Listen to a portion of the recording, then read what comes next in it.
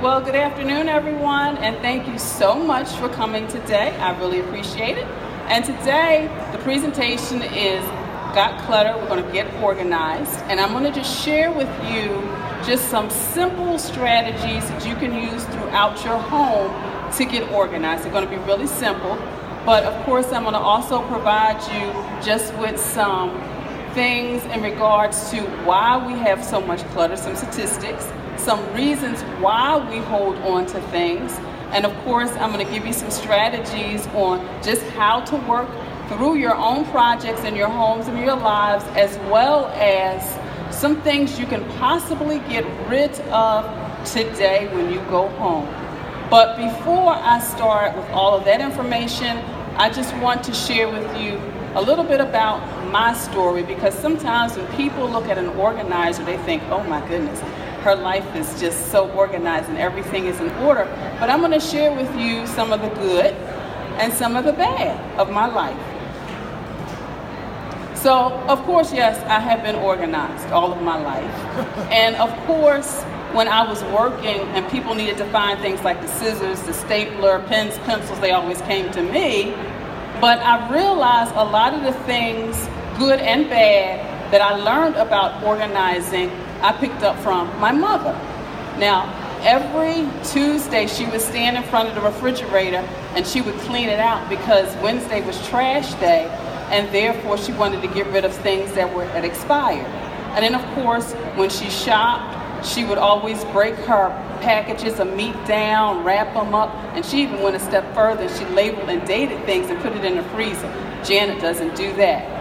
But one of the things that I did pick up from my mother, she was a saver, and I became a saver. So whenever there was a margarine container that would come into the house, of course you had to save it because you couldn't put that out, throw that out because you could use it for something, maybe a thousand and one things. But I had to learn as an adult not to become a saver. So, and I also wanted to share with you because a lot of times you hold on to things because they mean a lot to you. So, these are a couple of things that you can see by the dates. These were my toys, and I just recently got rid of them.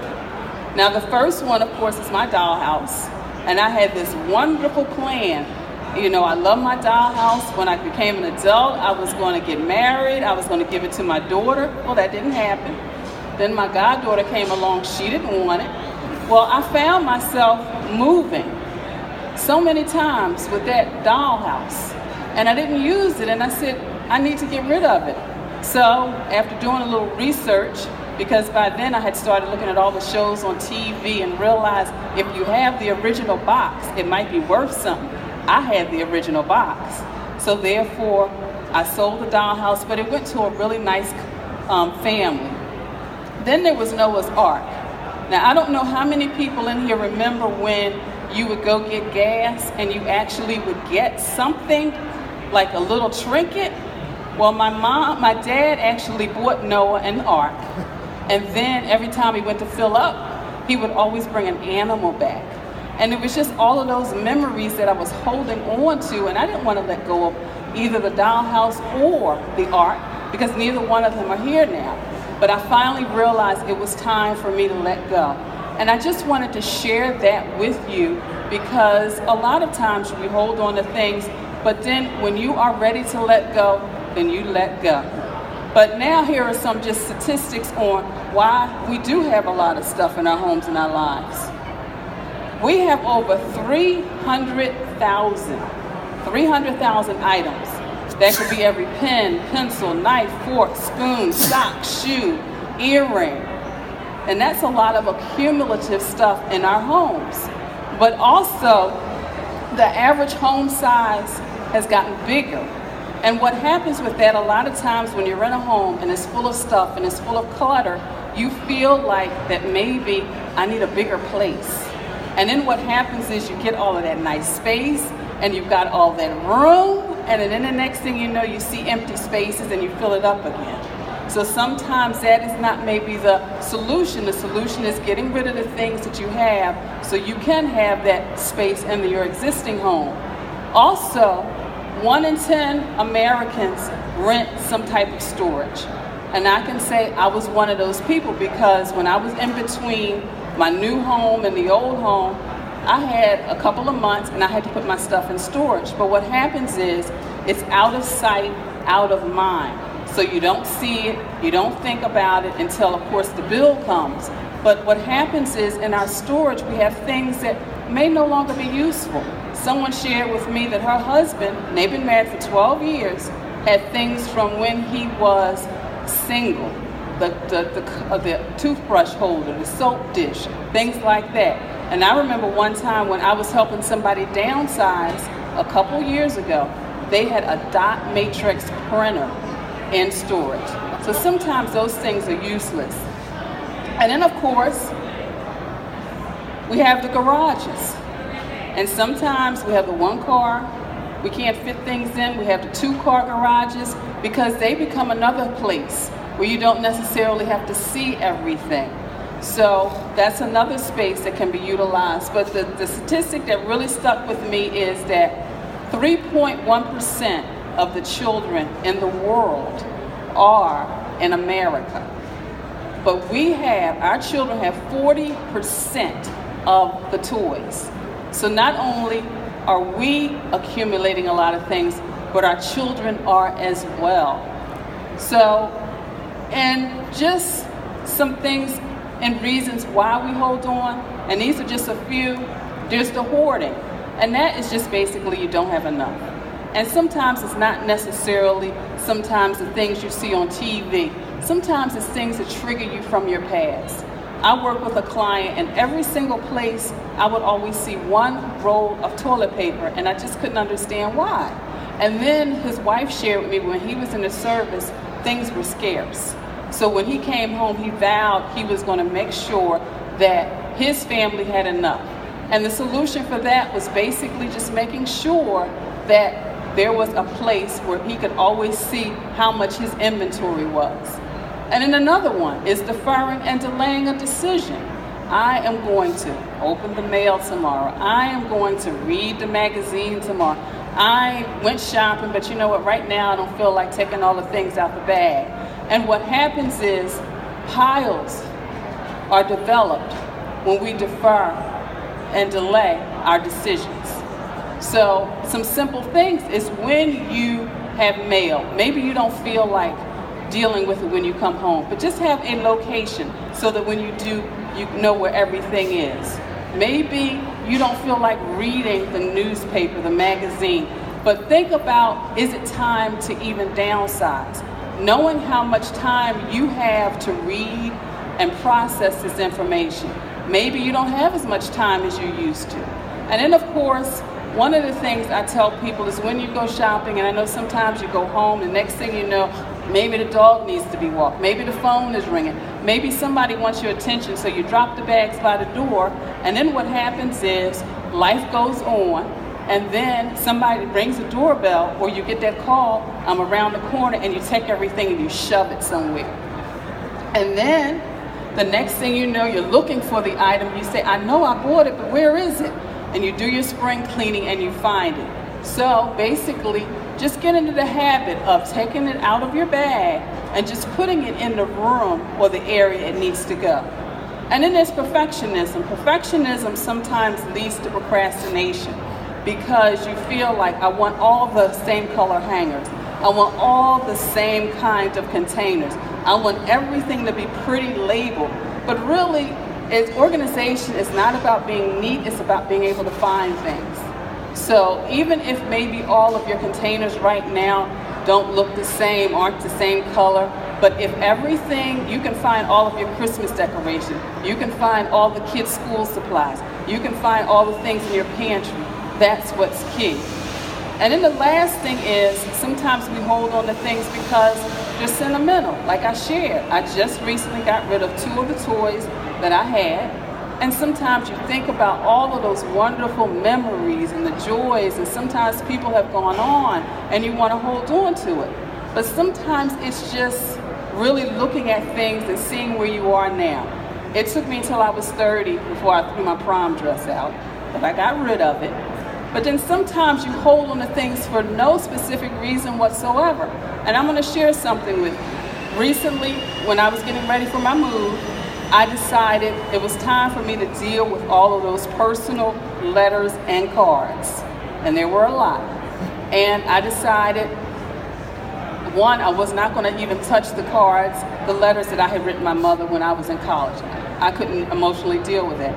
But I just started going through letters and I found one from my aunt Ruth.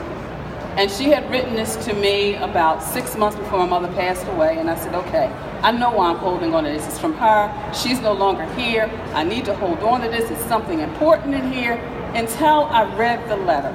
When I read the letter, I just almost laughed. And I'm going to read it to you. so I'm going to put this down for a minute. Just so you can read, just so you can understand some of the things that we may hold on to that really has no meaning. So this is the letter. Dear Janet, just a note. Jimmy gave me the new information. I, I, we talked to Rose yesterday. I left a message at James, my brother. We'll call you later.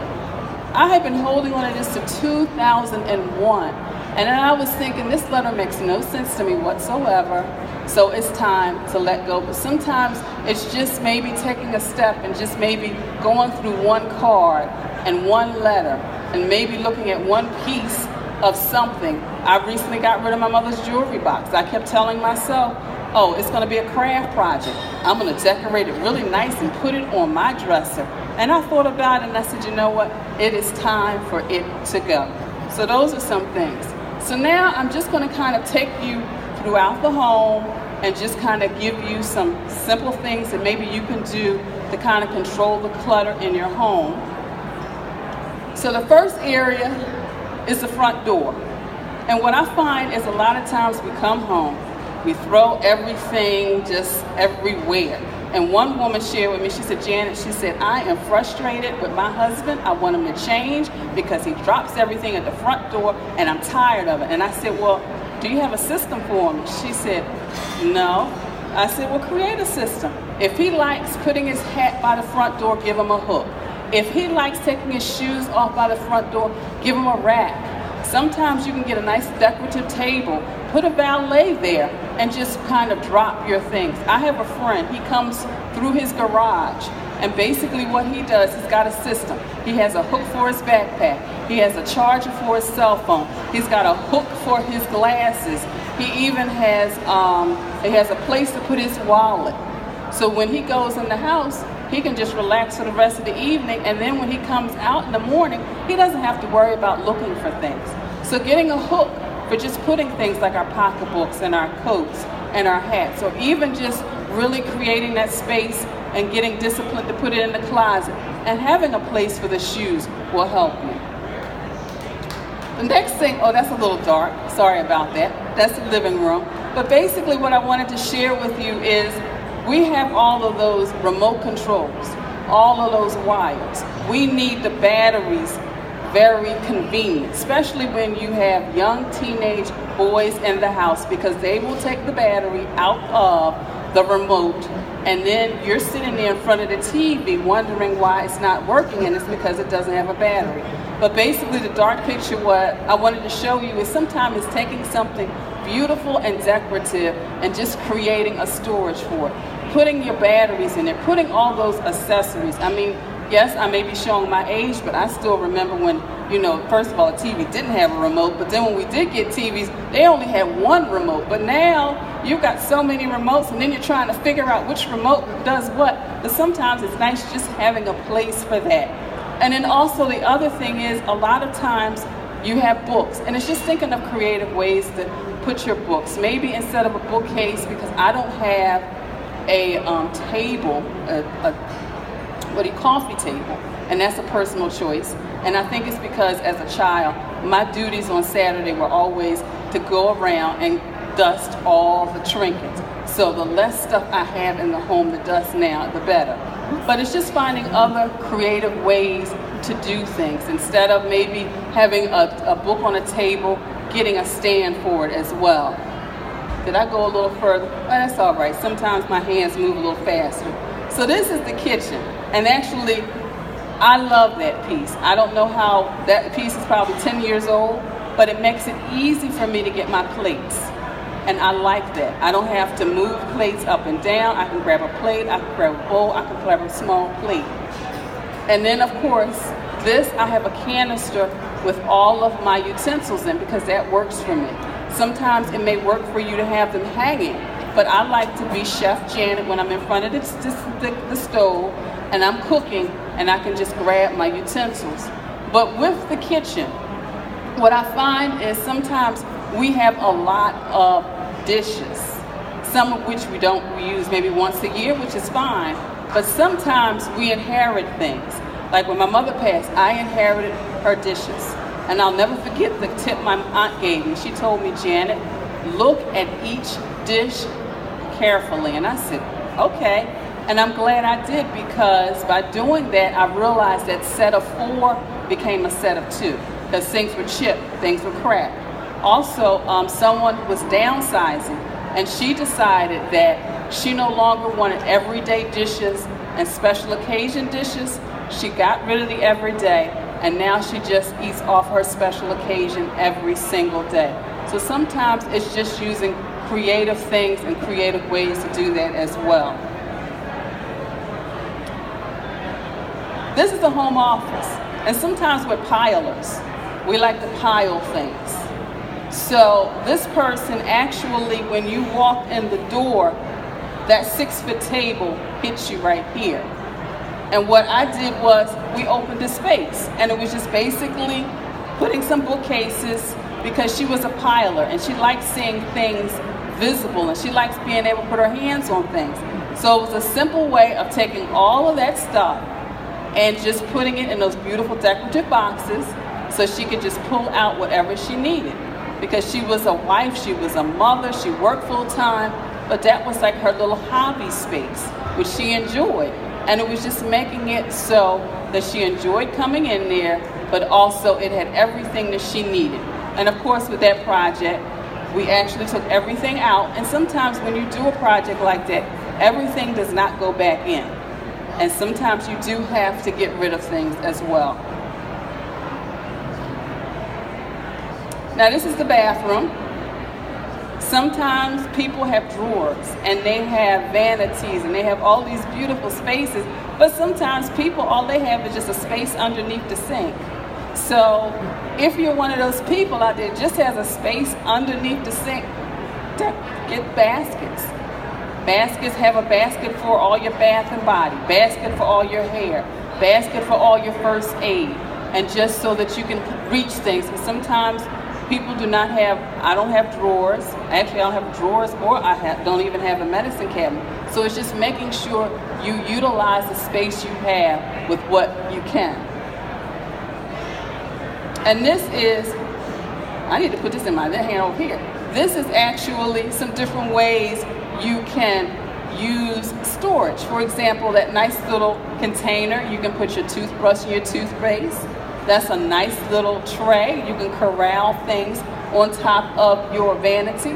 Now up here, which you may not be able to see, is actually a black giraffe head where she decided to use it as a hook. And what a lot of people now are doing is they're buying those cute little animals, they're cutting them in half, they're mounting them on the wall, and they're using them as hooks. So that's another way to use things and make things more accessible for you. I need to put this down. Um, this is the bedroom. Now, with the bedroom, there's a lot of space sometimes it's not utilized. And underneath the bed, if you have, use it for seasonal storage, use it put extra shoes, etc. But also sometimes use dual purpose furniture as well. Um, use a, a bench in order to not only sit on but store things. That's a trunk. You can store seasonal items as well. And I show the hook because in our bedrooms, a lot of times there may not be a lot of space. But I like to use the hooks, one, because it allows me to plan my outfits for the next day. But also, sometimes when I come home, I just want to get relaxed and I want to get into my comfortable clothes. So it also allows me to um, get comfortable as well. question for you. So everybody has in their bedroom that one piece of furniture, like the chair or like the little bench, that all of a sudden magically has a five foot pile of clothes because you come home and you're changing and you quickly throw it, and it's like your go to drop area. Do you have any suggestions for that? How do you make it look less appealing of the place that you want to just clutter all the clothes because you don't want to hang it up right away? So if you have a piece of furniture like that nice chest in there, is there something that can prevent you from wanting to just throw clothes on it and get to them later?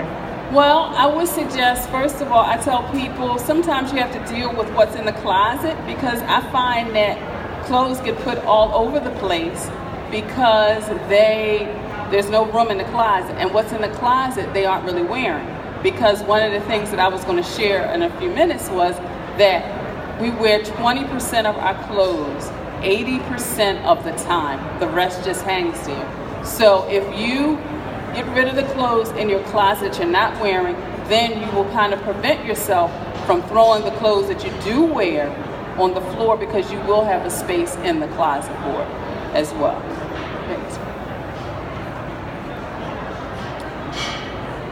So, we wear 20% of our clothes 80% of the time, as I just said. The rest just hang there. What I wanted to show you is with the closet.